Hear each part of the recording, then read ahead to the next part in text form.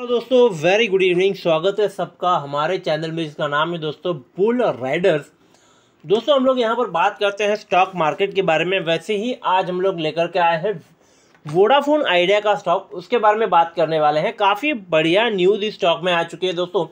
जैसे आप जानते हो कि इंडस्ट्री में अब सिर्फ़ तीन कंपनियाँ बची हुई हैं। जियो जो लीड कर रहा है एयरटेल और उसके पीछे वोडाफोन एंड आइडिया लेकिन वोडाफोन की खस्ती हालत की वजह से वोडाफोन के जो सब्सक्राइबर्स हैं, वो एवरी मंथ काफ़ी ज़्यादा क्वांटिटी में मूव ऑन कर रहे हैं, एक तो एयरटेल में या फिर जियो में। सिचुएशन ऐसी थी दोस्तों कि ये कंपनी लगभग बंद होने वाली थी।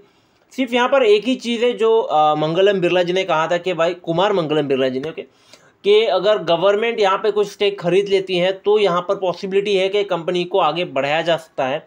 और यहाँ पर वही बात हो चुकी है गवर्नमेंट अग्री कर चुके हैं दोस्तों, लगभग सोलह हज़ार करोड़ के यहाँ पर जो है वो स्टॉक खरीदने वाली है।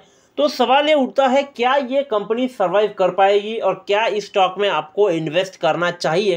क्योंकि इस न्यूज़ से कल चाहे स्टॉक में मूवमेंट आ सकता है। तो क्या है, पहले न्यूज़ देखते हैं, समझते हैं, उसके बाद में हम लोग थोड़ा आगे चलेंगे। देखिए दोस्तों, यहाँ पर है centre become the largest share holder in Vodafone and Idea how and why अब यहाँ पर देखते हैं दोस्तों सिनारियो क्या था। पहले मैंने कहा था, देखिए, बता दूँ आपको कि वोडाफोन आइडिया में लगभग सोलह हज़ार करोड़ का जो इंटरेस्ट ड्यू था, उसको गवर्नमेंट की जो है वो स्टेक्स में कन्वर्ट कर लिया गया है। यानी अब वोडाफोन आइडिया का मेजर मेरे ख्याल स्टेक होल्डर जो है वो गवर्नमेंट होगा। इससे क्या फ़र्क पड़ेगा? तो दो चीज़ें हैं दोस्तों, देखिए गवर्नमेंट की इन्वॉल्वमेंट से एक चीज़ कंफर्म हो जाती है कि शायद यहाँ पर गवर्नमेंट के आ जाने की वजह से और सारी कंपनीज़ भी आ जाए जो वोडाफोन और आइडिया को फंडिंग दे सके ताकि ये अपने जो ऑपरेशन है वो कंटिन्यू कर सके। अब यहाँ पर आप देखोगे तो सोलह हज़ार करोड़ की तो हेल्प मैं कहूँगा इनको मिल गई। चलो सोलह हज़ार करोड़ की हेल्प ही बोलेंगे, इसको और क्या बोल सकते हैं। लेकिन अगर हम लोग थोड़ा डीप में जाकर देखेंगे दोस्तों तो इनका डेट टोटल कितना है, वो भी बहुत ज़्यादा मैटर करता है। और क्या सिनारियो है अभी कंपनी का? वो समझते हैं। देखिए दोस्तों वोडाफोन आइडिया जो है वो बाईस हज़ार करोड़ की कंपनी है, जिसपे लगभग ढाई लाख करोड़ का डेट है।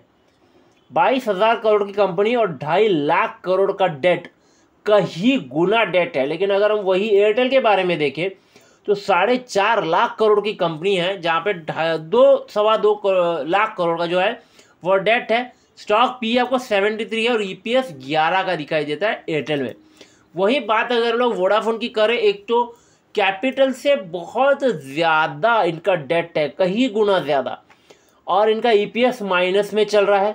पिछले तीन साल से थर्टी एट परसेंट माइनस में रिटर्न दे रही है कंपनी आप देख रहे हो स्टॉक वैल्यू लगभग साढ़े छः रुपये तक पहुँच चुकी है।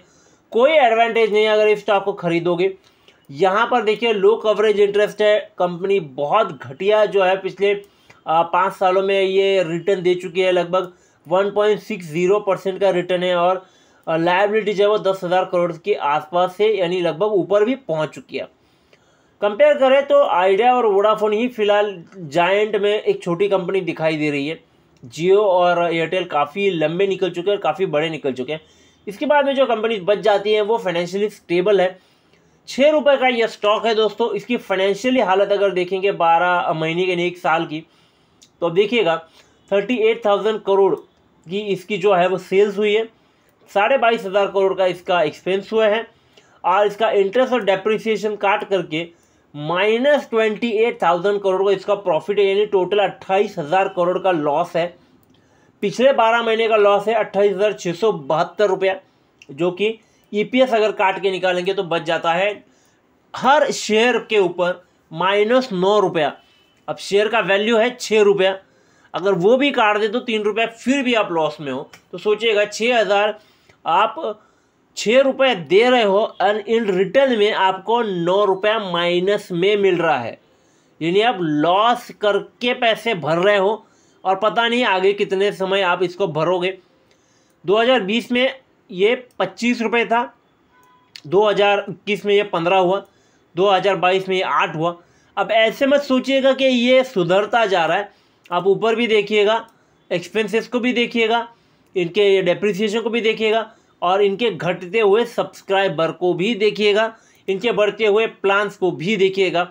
इन सारे सिनारियों को कंसिडर करने के बाद आपको पता चलेगा कि कितना देना है और उसके रिटर्न में कितना मिलने वाला है।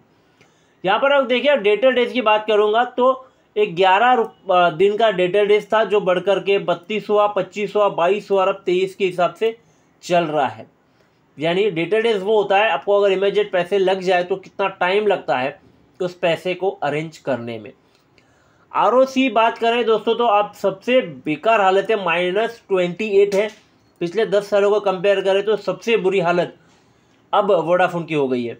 यानी सोलह हज़ार करोड़ माइनस करने के बाद भी इनके पास लगभग दो हज़ार, दो लाख, माफ़ कीजिएगा, दो लाख तीस करोड़ का डेट और भी बच जाता है। तो क्या यहाँ पर बाहर की कंपनीज़ आएँगी? जैसे वोडाफोन ने पिछले समय एक ट्वेंटी फाइव थाउज़ेंड करोड़ का जो है वो इन्वेस्टमेंट लाने के लिए अप्रूवल दे दिया था। बट अभी सिनारियो काफ़ी अलग है। वो काफ़ी पहले की बात है। अब दो लाख करोड़ से भी ज़्यादा का जहाँ पर डेट है, इनको रिटर्न करना है। अगर इनको रिटर्न करने के लिए समय चाहिए तो कंपनी को पैसा बनाना बहुत ज़्यादा ज़रूरी है। एक ऐसे समय में जबकि उनके जो सब्सक्राइबर्स हैं, वो मूव ऑन कर रहे हैं एयरटेल में और जियो में। देखने वाली बात है दोस्तों, आप लॉन्ग टर्म के लिए यहाँ पर अगर एंटर करना चाहते हो तो फ़िलहाल मेरी तरफ़ से बिल्कुल ना है।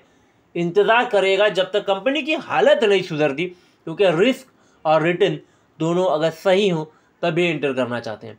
अगर कुछ लोग हैं जो कल के लिए सोचेंगे कि यार मैं शॉ, इसको क्विक खरीदूँगा इंटरडे करके या ऑप्शंस करके खरीदूँगा तो ख्याल ये है दोस्तों मार्केट खुलने दें। मार्केट को देखे सिनारियों को समझे।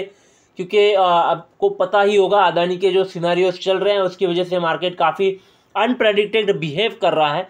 तो सोच समझ कर कीजिएगा जो भी चीज़ करनी है। और अभी मेरे ख्याल से वोडाफोन को सुधरने में टाइम लगेगा। आपके क्या पॉइंट ऑफ़ व्यूज़ है? आप कौन से स्टॉक के बारे में और डिटेल में जानना चाहते हैं? आप हमें कमेंट में ज़रूर बता सकते हैं दोस्तों।